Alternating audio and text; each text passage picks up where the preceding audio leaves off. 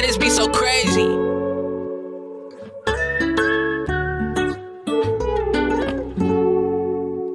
James about that jack, boy.